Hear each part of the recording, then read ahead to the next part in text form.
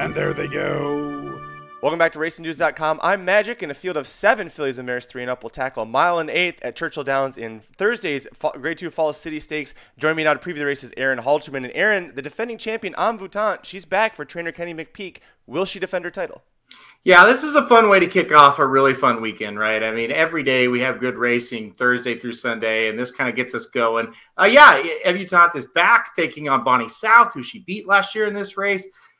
I'm not going with either one of them, Magic. I'm going to go with number five, Army Wife, on top in here. The three year old is going to be facing older horses for the first time. I, I just think this horse has more upside than the other two. You look at Envoutante, you look at Bonny South, neither one of them in great form coming into this one.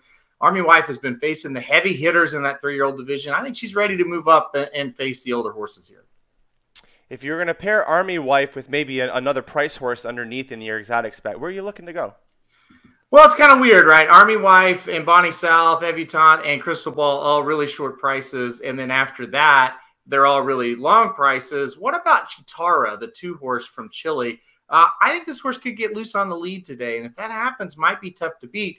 She's come over here and ran four times. She's won two of them and has one second and one third, so never been off the board.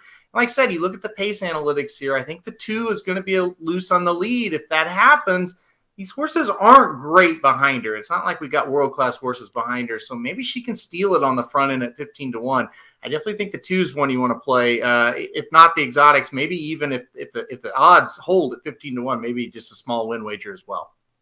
He's no turkey. He's Aaron Halterman. He is our lead handicapper at racingdudes.com. For free picks and premium selections at every track around the country, Aaron is your guy at racingdudes.com, so go check that out right now. You can catch our free previews for all races happening this Thanksgiving weekend, as well as our live stream shows over at youtube.com slash racingdudes. Hit like if you like this video. Hit subscribe if you really like it. Tell all your friends. We'll see you at the track.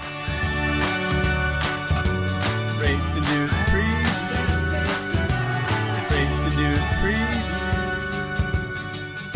And there they go.